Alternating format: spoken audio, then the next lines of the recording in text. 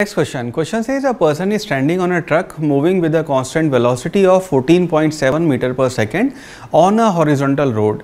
The man throws a ball in such a way that it returns uh, to the truck after the truck moved 58.8 meter. सवाल है find speed and angular projection पहला as seen from the truck दूसरा as seen from the road ना बहुत ही interesting मज़ेदार अच्छा conceptual सवाल है। बहुत सारे इसके कॉन्सेप्ट क्लियर होंगे। मुश्किल नहीं है लंबा नहीं है बट इसके कॉन्सेप्ट समझने होंगे। राइट सो स्नैरियो ये है कि ये आपका ट्रक है। राइट चाहो तो इसको ऐसे बना लो ये आपका ट्रक है। और इस ट्रक में आ, एक बंदा ऐसे खड़ा हुआ है। और ये ट्रक आपका एक कांस्टेंट वेलोसिटी यू से जा रहा है। यू की वैल्यू अपने को दी हुई है 14.7 14.7 मीटर और इस बंदे ने यहाँ पे खड़े होके गेंद को ऐसे फेंका। राइट और यहाँ पे इसने अच्छा ग्राउंड के फ्रेम में अगर देखेंगे so this motion is projectile ये आपका मोशन प्रोजेक्टाइल मोशन होएगा। सो so, जब इस बंदे ने इस पर्सन ने गेंद को फेंका तो उसने गेंद को ऐसे फेंका कि वो गेंद ऐसे जाके ऐसे प्रोजेक्टाइल मोशन किया। और जब ये गेंद यहाँ पे पहुँची ये बंदा यहीं पे पहुँच गया और इस बंदे ने इसको कैच कर लिया। ठीक है? सो so, गेंद को ऐसे फेंका है अब गेंद क्योंकि अब ग्रेविटी के आई मीन अर्थ के फ्रेम में इनर्शियल फ्रेम में ऐसे वो जा रही है और ट्रक आपका मूव किया और वहीं जाके आपने कैच कर लिया ठीक है? आप बहुत सारे लोग ऐसा करते हैं कि बैडमिंटन अगर I mean I am sure YouTube पर ऐसे वीडियो देखे होंगे आपने कि कुछ लोग बैडमिंटन अपने साथ खेल रहे हैं तो गेंद उसको या टेनिस खेल रहे हैं तो उसको ऐसे मारा और फिर भाग के वहाँ गए जहाँ पर इस पर शटल कॉक पहुँचने वाली वहाँ जाके दे हिट अगेन सो वही स्नैरियो है यहाँ पे ट्रक आपका मूव कर गया है ठीक है?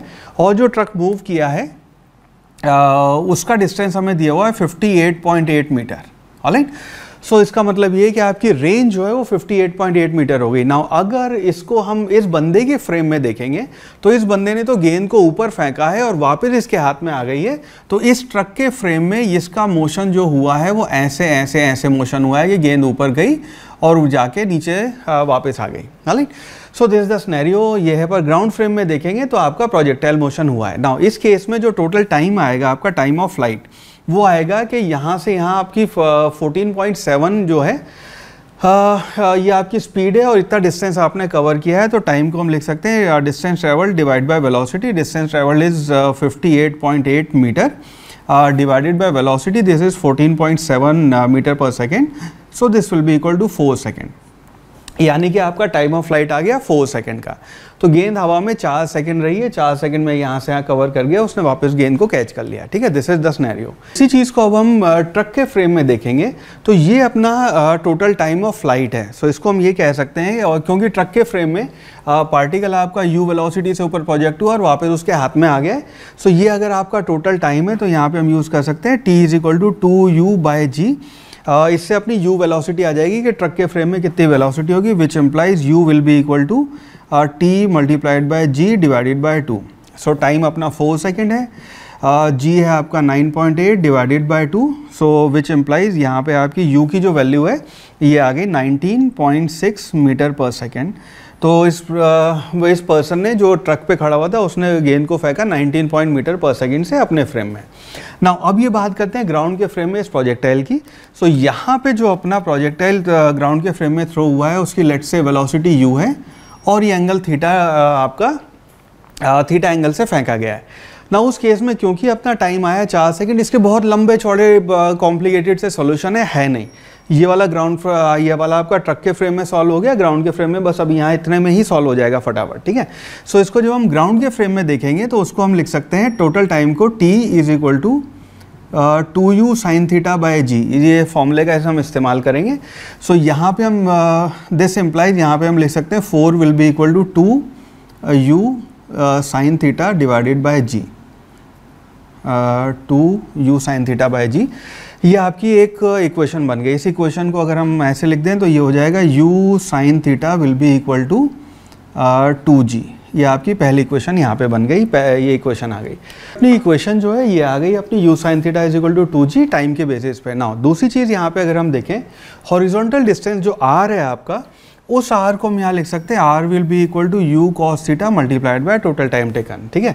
और आर की वैल्यू अपने को 58.8 दे रखी है। सो ये हो जाएगा u cos theta multiplied by time time की वैल्यू अपनी four second will be equal to जो रेंज है अपनी दैट इज़ फिफ्टी 8.8 ये आपकी इक्वेशन नंबर टू हो गई। नाउ uh, इसको अगर हम एक काम करते हैं फोर से और डिवाइड कर लेते हैं सो दिस इम्प्लाइज आपकी u cos theta will be equal to 14.7 ये आपकी इक्वेशन नंबर टू हो गई। ना यू कॉसिटा और यू साइन थीटा से आपकी दो इक्वेशन आ रखी हैं। अगर इसको हमें यू और थीटा की वैल्यू निकालनी है तो पहला काम करते हैं, दोनों को स्क्वायर करके ऐड कर देते हैं। सो विच मीन्स अगर हम ये कर रहे हैं वन का स्क्वायर प्लस टू का स्क्वायर, इन दोनों को जब हमने ऐड किया तो ये बनेगा यू स्क्वायर। अच्छा ब्रैकेट में आएगा cos square sine square theta plus cos square theta ये बात अपने को पता है so that will be one will be equal to two g यानी कि two multiplied by nine point eight इसका स्क्वायर प्लस ये आएगा फोर्टीन पॉइंट सेवन का स्क्वायर और u की वैल्यू हो जाएगी under root of this now इसको अगर देखेंगे, u will be equal to under root of यहाँ पे थोड़ा सा अब ये नॉलेज चाहिए कि 14.7 भी आपका एक्चुअली 4.9 का मल्टीपल है. So this will be equal to four multiplied by 4.9 का स्क्वायर प्लस ये आएगा थ्री मल्टीप्लाइड बाय 4.9 का स्क्वायर विच एम्प्लाइज आपका u की वैल्यू हो गई. फोर नाइन आपने कॉमन ले लिया, अंदर बचा four square plus three square, यानी कि हो जाएगा four point nine multiplied by five, यानी कि यू की वैल्यू आ गई twenty four twenty four point five metre per second. तो ये आपकी इनिशियल वेलोसिटी आ गई। अब अपना काम रह गया थीटा बताना। थीटा को यहाँ कर लेते हैं। थीटा करने के लिए अब हम कर रहे हैं equation number one divided by equation number two. इन दोनों को अगर हम इसको इसको डिवाइड कर देंगे तो आपका यू कैंसिल हो जाएगा। So we can say tan theta will be equal to two g यानी कि two multiplied by nine point eight divided by आपका फोर्ट ये बनेगा फोर्टीन पॉइंट सेवन ना इसको आप लिख सकते हैं this will be equal to four multiplied by four point nine divided by three multiplied by four point nine और ये विच एम्प्लाइज आपका टेन थीटा जो है, वो आ गया four by three which implies theta आपका हो गया fifty three degree right so now ground frame में ट्वेंटी पॉइंट सेवन और फिफ्टी थ्री डिग्री ये आपका इनिशियल वेलोसिटी और एंगल ऑफ़ प्रोजेक्शन होएगा।